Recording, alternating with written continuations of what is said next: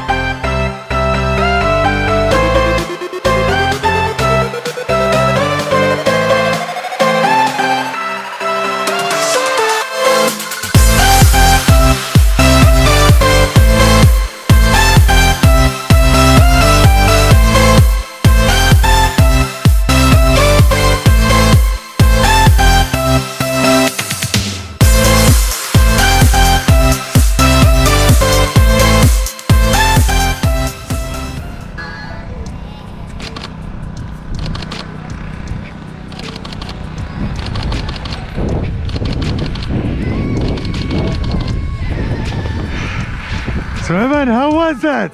Fun. Yeah, man, congratulations, brother. oh, yeah, get with your instructor. Let me take a couple pictures together. You okay? Yeah. Yeah, guys, awesome. Thank you, guys.